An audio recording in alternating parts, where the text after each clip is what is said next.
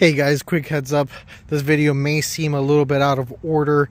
I included a video of when I did the transmission service, uh, showing a little bit of how the fluid looked, the old fluid looked, and with the old pan and the magnets. So uh, just bear with me. I didn't really plan for that when I made the video, but I decided it was important enough to add it in the beginning of the video as a good uh, motivator of why you should be doing your your transmission fluid uh, at the 44 45,000 mile mark. Uh, you know, my truck is on 35s, but other than that, it's mostly uh, a hauler. It's, I don't really do much towing. It's towed a few times, some about five, six thousand pounds, but other than that, uh, it doesn't seem any extreme use. But still, the fluid looked quite bad. So take a look at it, enjoy, watch the video, and uh, see you guys later. Before I installed it, I uh, might as well let you guys see how the fluid looks at 44,000 miles. Pretty nasty. Um, even the magnets are pretty caked on with stuff. So, for you guys that think that it does not need it at this mileage, I would beg to differ. So, and of course, look how thin this little sheet metal is. It's just like a stamped sheet metal compared to the PPE one. So let's get this one bolted in and uh, let's get this party started. Hey everyone, this is Alex on Automotive and More, and today we're going to talk about the transmission upgrades uh, that I did to the truck. So recently, uh, and recently I mean about a thousand miles ago, what I did was I did um, the PPE deep pan, I did the PPE transmission bypass, and I did the PPE uh, larger transmission cooler for the truck. Along with that, I put OEM transmission fluid, the AC Delco stuff, um, and I also put a new transmission filter. My truck is at right now at 44,000 miles and change, so I was already in there, didn't see why not. I did a video on the parts list. If you guys want to see every part needed with part numbers, links, and all that good stuff, check out my other video on the ultimate transmission service for these trucks for the 10L80. Uh, and you should have every part listed there that you need. So let's talk about the difference. So transmission is definitely cooler. Um, it stays on the highway around 160s, which I absolutely love. I think that's perfect. Uh, around town, the as high as it gets is in the 170s. I haven't seen it get into the 180s yet. So absolutely perfect. Happy with that outcome. Uh, I live in a hot state. I don't really tow a lot, but I live in a hot state where, um, you know, keeping the fluid cool will definitely aid in the longevity of it. Along with keeping the fluid cool, now the system has a lot more fluid. The, the pan is carrying four more quarts. The transmission cooler is also larger. Um, so that's going to aid into, you know, serviceability. The serviceability being easier. Having a drain plug is definitely a plus for me to fill in, fill in the the transmission. I don't have to drop the pan. Let's see if I can get a good enough shot here. If this will focus. Will it focus? If it doesn't, guys, I really apologize. There we go. So that's the the larger cooler. And I'll give you, hopefully, I can get a decent enough shot. I don't feel like dragging myself under the truck. So whatever I can get from the from the edge is what you guys can see. I should have taken better pictures and stuff like that before. I did take a, a video. I'm going to see if I add it somewhere on how bad the fluid is. I may add it to the end of this video. Uh, the fluid came out super brown.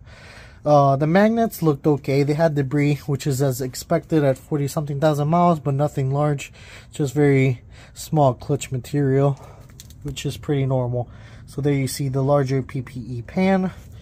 Um, thermostat bypass. It's almost flush. I don't like that it sticks out. I want to say like about half or a quarter of an inch under the frame. Not a fan of that.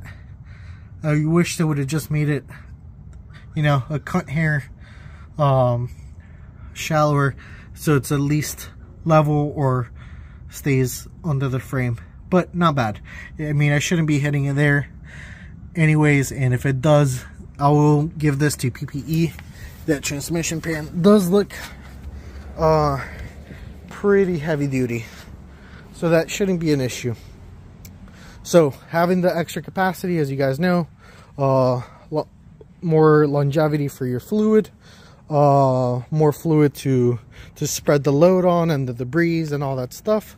Um, easier uh, to do service. You know, if you're just going to do a transmission oil change, now it should be a breeze in the future. You shouldn't ha be having to take off the pan. Uh, you know, next service, I'm not going to do a filter, so definitely not going to take off the pan. Um, also, less fluid means longer warm up for the transmission. Um, now, I know this may be a concern for a few people, but I'll tell you the good and the bad about it. So the good, yeah, definitely it takes your transmission longer to get up to operating temperature. Um, that also means that if you're doing extreme things, you know, towing, off-roading, all that stuff, having the more fluid um, capacity there is going to mean that it's going to be harder for the temperatures to spike in any way. Uh, so that's the, the good thing.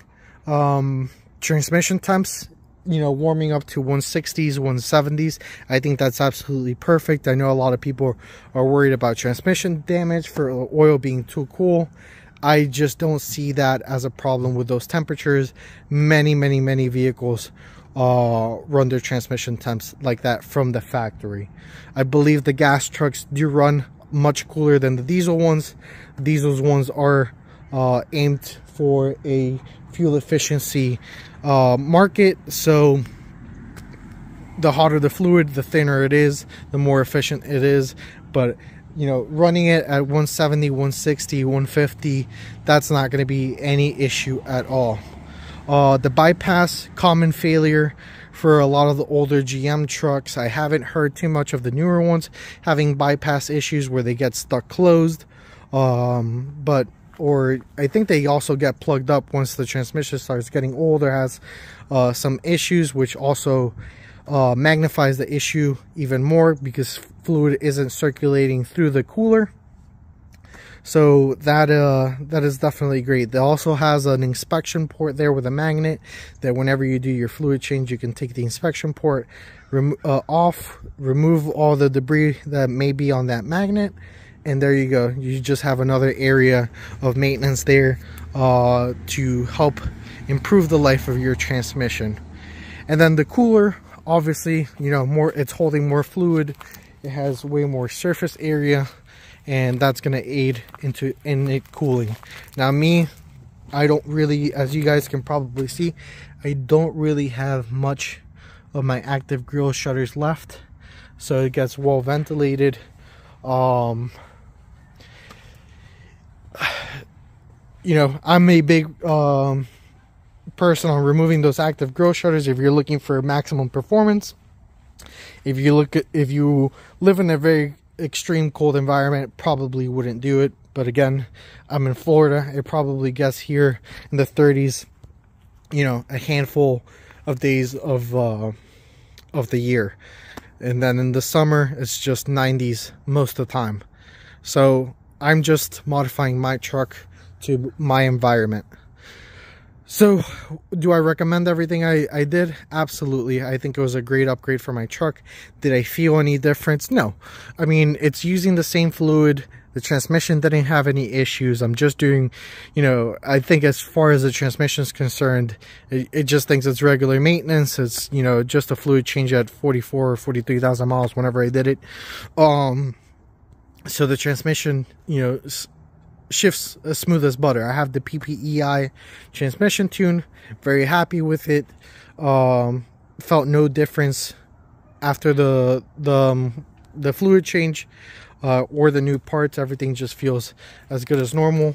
Uh, I just noticed, you know, when I look at the at the PIDs in the dash, uh, yeah, it's definitely running much cooler than before, and and that's that that was what my goal is is to run that that fluid cooler um and that's about it guys. Uh, give me your thoughts on it. Um i didn't i just had one extra quart of oil so i didn't get to do the transfer case. So one of these weekends i'll do a video on the transfer case. Uh it's just a fill plug and a drain plug and it should be pretty easy but i'm very curious to see how the fluid is specifically because this truck has the four-wheel drive auto and as you guys know having that auto feature means there's clutches there so there may be uh, clutch material uh, as a regular thing you know that comes out. So not a bad thing. I will do that service here in the upcoming month. Been slow to bring out the videos have a newborn in the house. So that's been the main priority. So the videos have been coming out very slowly. So for that i apologize but uh, they will be coming out here in the future so stay tuned. If you haven't uh, subscribed please subscribe to the channel.